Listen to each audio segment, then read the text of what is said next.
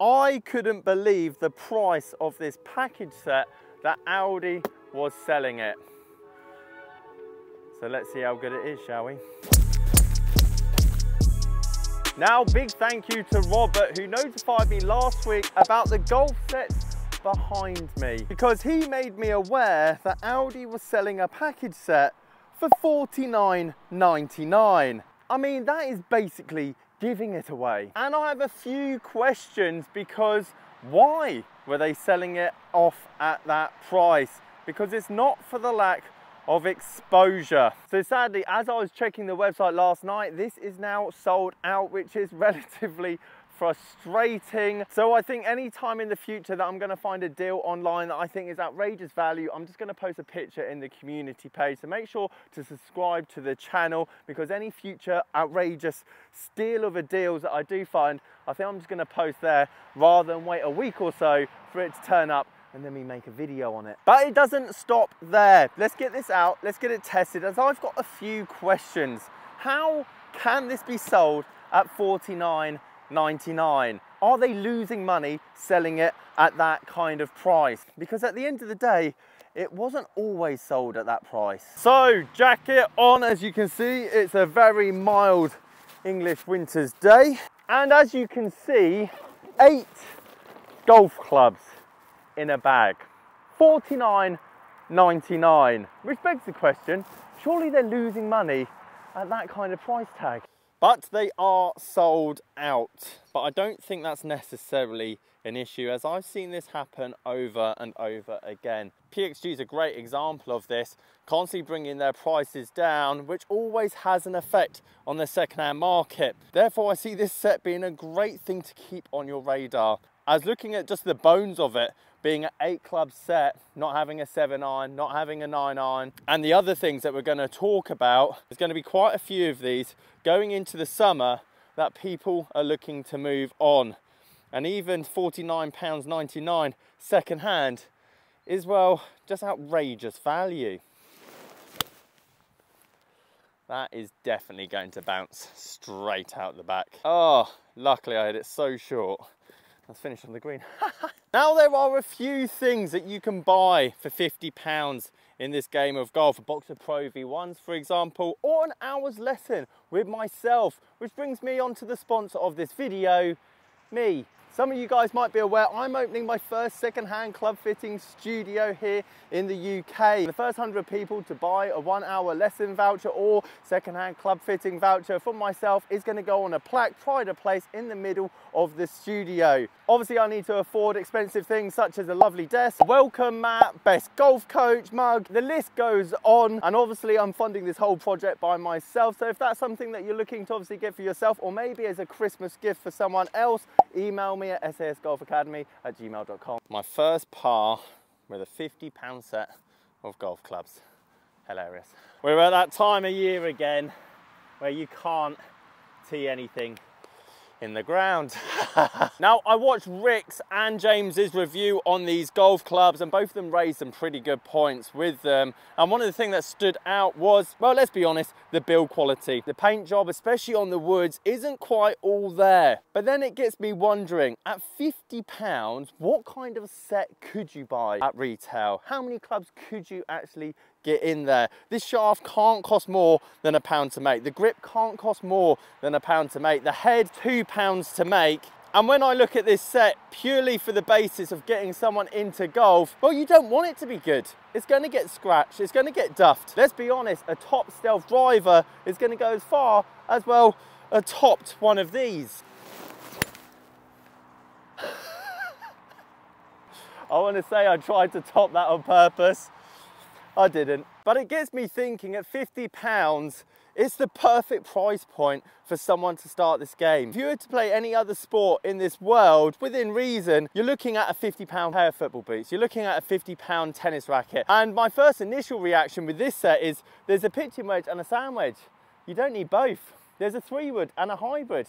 You don't need both. If anything, this could even be a six club set. Oh, she is gone.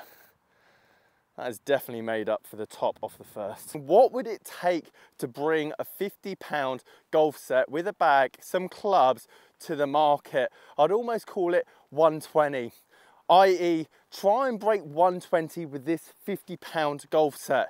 And if you're able to do that, then it's probably worthwhile upgrading to something more expensive.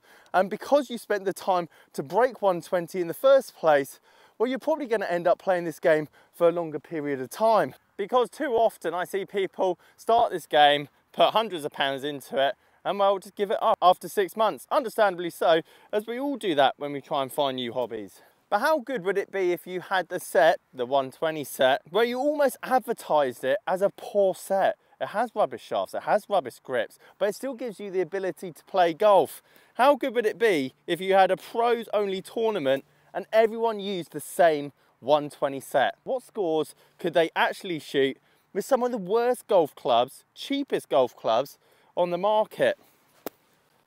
I'd actually want to watch that. But it does fascinate me why Aldi sold it at 49.99. You can even see it was sold at 99 pounds at one point and then reduced even further. And it's not for the lack of exposure. This set has been seen by hundreds of thousands of people, which ultimately does say something about our community and potentially the brands behind it. Is that if 49.99 was sold by a bigger name brand, these would have flown off the shelf. It would have never even got to a chance of being even 99 pounds when they're first being sold around the 200 pound mark. She's gone not necessarily where I wanted it to though. Now some would think losing your Srixon Marathon Soft out of bounds in front of thousands of people is embarrassing and let's be honest, a bit of a loss. But then you find a Titleist Pro V1 while searching for it.